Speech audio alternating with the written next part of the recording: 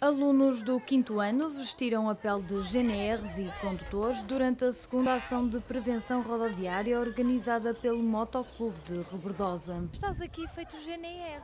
Sim, E porquê?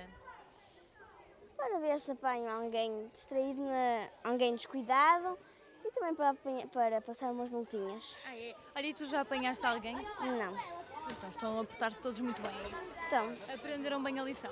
sim, Há bocado estavas a dizer que isto aqui era uma caça à multa, então porquê?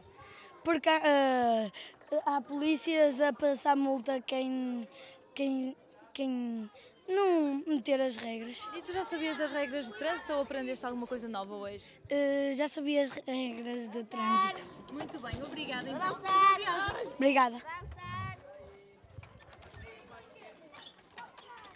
Estes pequenos GNRs, estes pequenos condutores estão-se a portar bem? Sim, sem dúvida. Eles, eles são, por vezes, são os, os educandos dos adultos e hum, com alguma- algumas aprendizagens que aqui são demonstradas, eles se calhar vão transmitir aos adultos alguns conceitos que às vezes os adultos descoram, Para além da parte prática, a ação contou com uma aula teórica na Escola de Condução parceira da iniciativa. que as crianças tenham mais cuidado na deslocação que às vezes fazem a pé para a escola, Tem alguns cuidados a ter, mesmo quando andam de bicicleta, para usar as proteções, para quando andarem em passeios não andarem em grandes grupos, coisas básicas que às vezes eh, são erros fatais. que estas regras eh, VAS eh, são com estas idades que se devem ser incutidas.